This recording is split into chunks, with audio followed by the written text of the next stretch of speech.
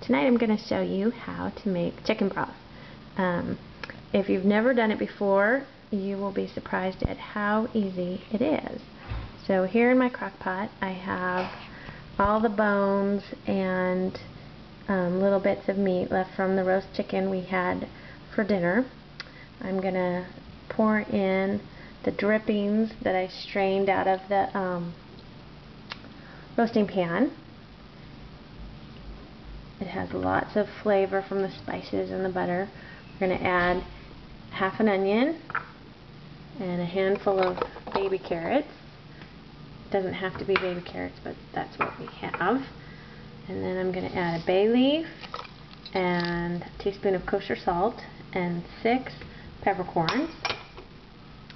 And then we're just going to add about half a gallon of water to cover up the chicken bones.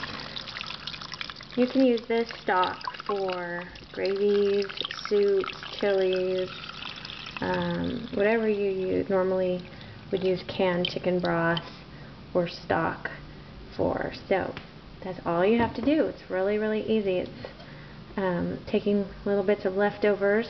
And I'm going to put it all in the crock pot, put the lid on it, plug it in, and we're gonna, I'm going to let this go for about 8 hours and then um, we'll have some nice chicken stock when you get to the end.